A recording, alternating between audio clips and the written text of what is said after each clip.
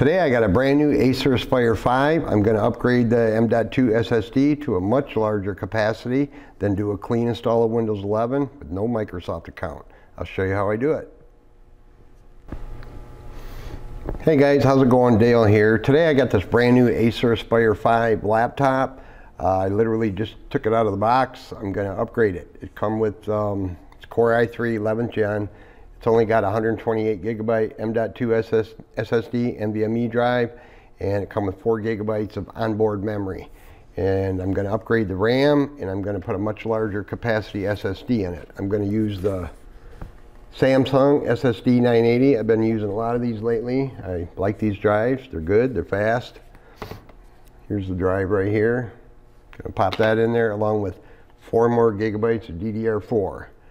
And then I'm going to do a clean install of Windows 11 with no Microsoft account. A little trick I do, I'll show you how to bypass setting up that Microsoft account. So I haven't even turned it on yet. I'm just going to close it up. I have taken all the screws out already, guys. They're all the same length, so it doesn't matter which hole goes where uh, or which screw goes back in which hole.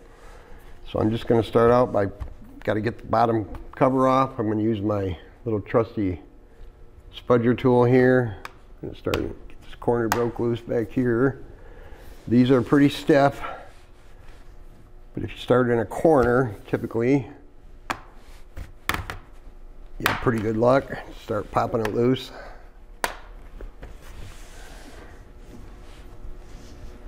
And always protect yourself from static electricity before you go inside your laptop. I'm all protected here with my bench tops and my floors, all being very anti-static. So there, it lifted right off. Didn't take too much. Sometimes they're a little stubborn though. So here's what we got.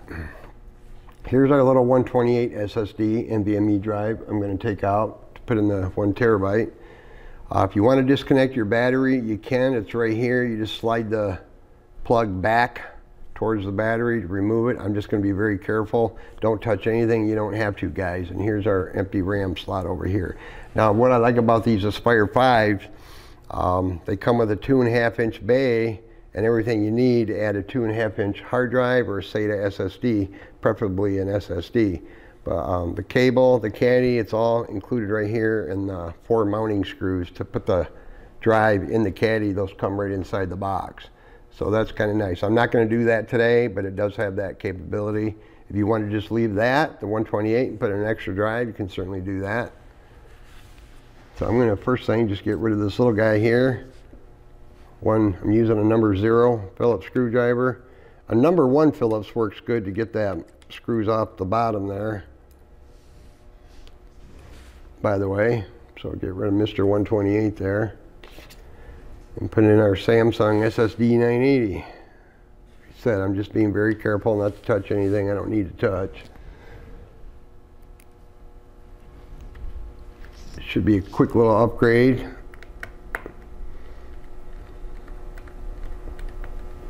And I'm going to pop in 4 gigs of DDR4, give it a total 8. Like I said, there's 4 gigabytes on board with the one slot. So we're going to utilize that. Make sure your clips go in good, which they did. Now, I'm just going to, if you unhook your battery, make sure you remember to hook the battery back up. Um, we're, we're good to go. No, I'm not going to put all the screws back in the bottom just yet. I always wait to the very end to do that. Because more often than not, you have to open it back up because something went wrong or you had a bad stick of RAM or something. So I am going to plug in my AC adapter though because like I said, I just took this out of the box. so I don't know what's up with the battery. Let me just get this hooked up here, guys. I got a I got a flash drive that I'm going to be booting off of with Windows 11 on it. You can easily create one using the Windows Media Creation tool. I'll have a link down below where you can watch a video I made on how to make one of those for Windows 10 or Windows 11. Doesn't matter. So we don't need that. I am going to need all my little goodies here so I get to that in a minute. So let me put in my Windows 11 USB bootable drive here do a port and turn it on, see what happens. Now it might take a minute to post, because of the new RAM that I put in there, along with the SSD, of course, but just got to kind of be patient here.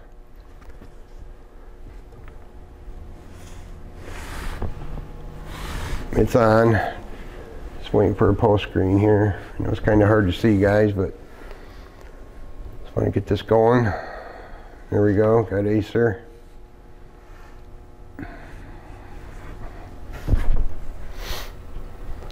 I haven't been doing a lot of videos lately, guys. I haven't felt very well. I've been under the weather the last couple weeks with a bad cold, coughing and sneezing and sniffling. It's been quite annoying, actually. So I didn't want to be doing videos hacking away, but I'm feeling better now, so I'm going to try to start doing some videos. I'm going to need my mouse here for a minute. These are very annoying. On these Windows 11 with these 11th gen i3s, there's some little tricks you got to, oops, I'm just plugging in my mouse here. Bear with me. Got two USB ports over here as well. All three counting the C.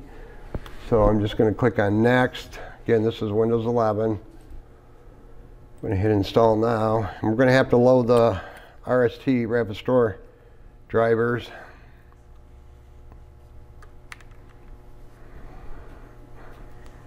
Gonna need my adapter here. I'll show you what I mean because it's not going to detect that drive. See, there's doesn't see us. We got to load. I got to load some drivers here. I'm just going to use my trusty little adapter to get it in the C port here. And I'm going to go to load driver. I'm going to go to browse. I got it here. It's called. That's just what I named the drive. 11th gen. Boom, boom. I'm going to hit OK. Here's our Intel RST driver. Just hit next. I'm loading off my flash drive here because it's not included on the Windows 11 when you create it with the media creation tool. On Even on the 10th gen with 21H1 and 21H2. Earlier, you don't have a problem. So there, now see I found our one terabyte drive. So I'm just going to hit next. We don't need that anymore It's kind of annoying. I don't know why Microsoft does that, but that's what the, that's just what they do. So I'm going to get this install going here, guys, and then I'll show you how to bypass setting up a Microsoft account when you're doing a clean install of Windows 11. It's pretty simple. Eventually, they're probably going to fix it so you can't do this little trick no more, but maybe not. We'll find out. I'm just going to let this go. When we get to the right spot, um, I'll come back and we'll finish it up.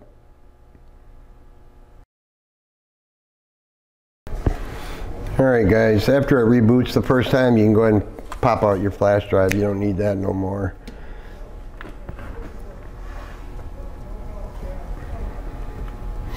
But yeah, those RST drivers aren't included in the Windows on the flash drive when you create that with the media creation tool. It's quite annoying, but there's a will, there's a way.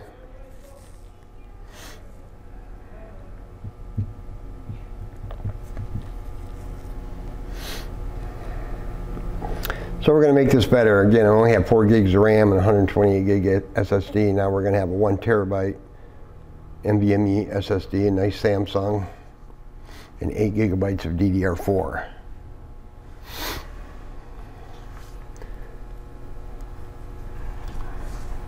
Almost there.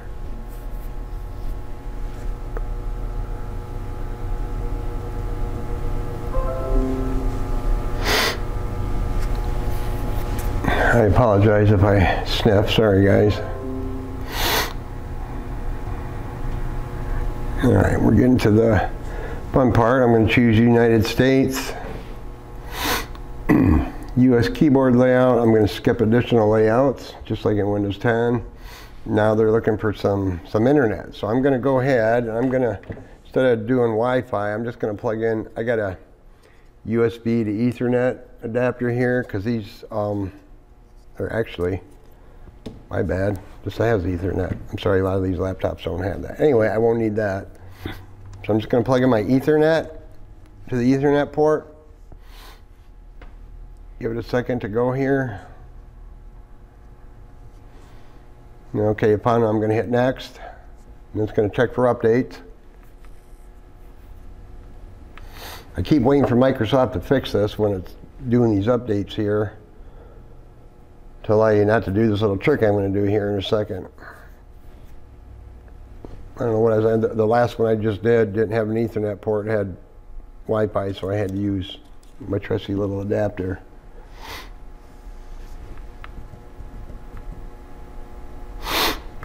I apologize for the sniffing guys, sorry, doing my best.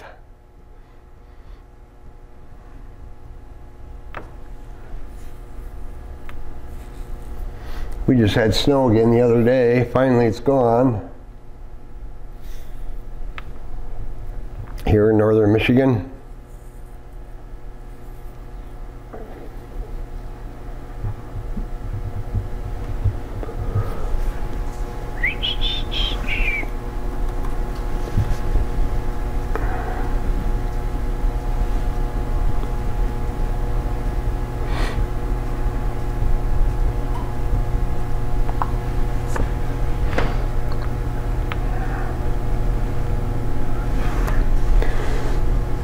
Good things coming your way, it says.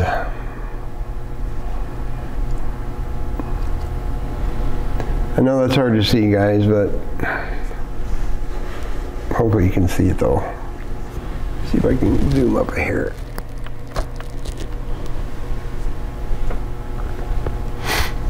it's going to reboot again here.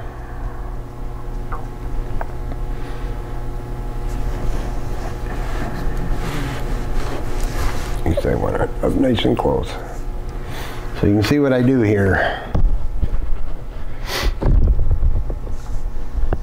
And we're gonna, actually I'm gonna, I think I can skip this for now. Just want to get to the Microsoft account portion of this.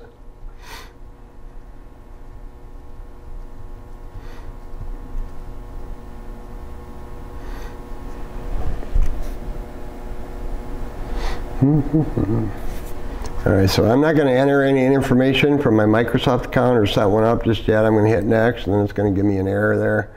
Now I'm going to pull out, I'm going to unplug my Ethernet, so I don't no longer have internet. I'm going to click on the back button here. And right here, I'm just going to enter a username. That's it, we're done. I'm going to click next, no password. Set that up, we're setting this up without a Microsoft account just by simply doing that little trick I just did. It's worked every time. I've been doing it since day one, basically. I just kind of figured it out. And I've noticed some other people online have noticed it and put up videos on how to do that as well. So, But if you want to set up a Microsoft account, you certainly can once you get in Windows.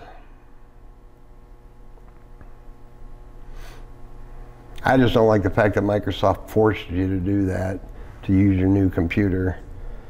But then again, you know, I say everybody, everything else requires an account. If you got an Android phone, an iPhone, a Chromebook, tablets, iPads, you have to set up an account to use that device.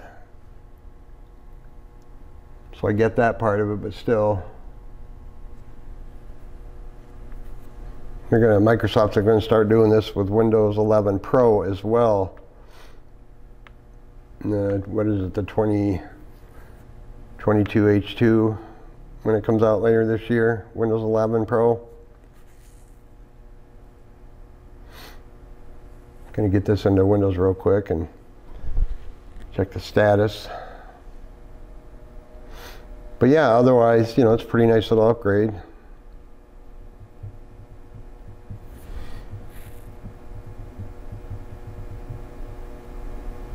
Yes, all fidgety today.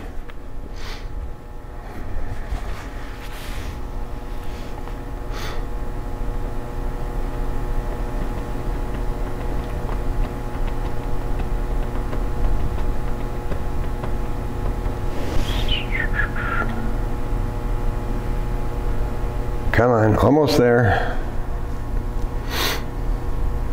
All right, boom, we got Windows 11. So let's just real quickly open up Mr. Task Manager here. Go to my Performance tab here. And then you can see we got 8 gigabytes of 2666 memory.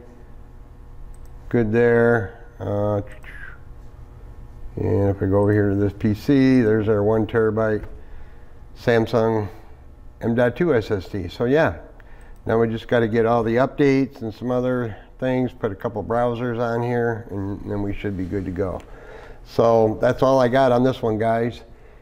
Make sure you uh, subscribe and like, I'd appreciate it. Try out that little trick I did there with setting up Windows 11 if you ever get a chance. Um, I appreciate you watching. Have a great day.